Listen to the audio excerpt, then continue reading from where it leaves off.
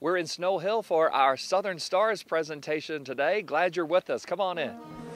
As the Director of Aging Services in Greene County, Sharon Harrison goes above and beyond for the senior citizens in her community, making sure all of their needs are met, often by organizing fundraisers, events, and special programs.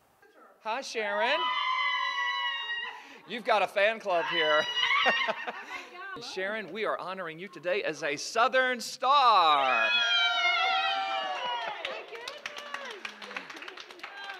Congratulations. And Sharon, on behalf of our community partner, Southern Bank, we are also presenting you with a $100 gift card.